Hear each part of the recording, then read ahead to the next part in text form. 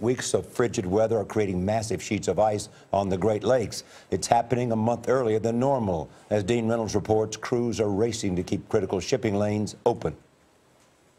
You know it's cold when you see Coast Guard icebreakers on the Great Lakes and it's still autumn. But single digit temperatures are forcing them into action on Lake Superior.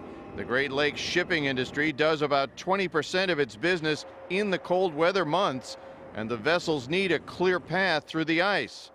Cruise liners are affected too. In Lake Michigan now, they are frozen in place. We're aboard the city of Chicago's tugboat called the Commissioner, which is out on the water three weeks earlier than usual because serious ice has begun to form. The concern for the, a lot of the commercial shippers is they just simply can't get their boats in and out to transfer goods. Philip Willink is a research biologist at Chicago's Shedd Aquarium. He was along for the ride as the commissioner shattered the spreading ice in the city's Burnham Harbor. If the ice freezes to the dock, it has the potential to rip it apart. So what they do is they use this tug to break up the ice like what we're doing right now. But Willink says the ice has actual benefits for the lake. Years of below average moisture have dropped lake levels.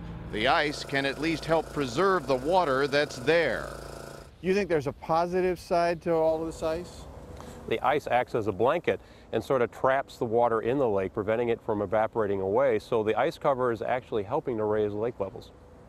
Positive or negative, next week temperatures are supposed to drop into the teens, which is a sure bet there will be a lot more ice to deal with. For CBS This Morning, Dean Reynolds, Chicago.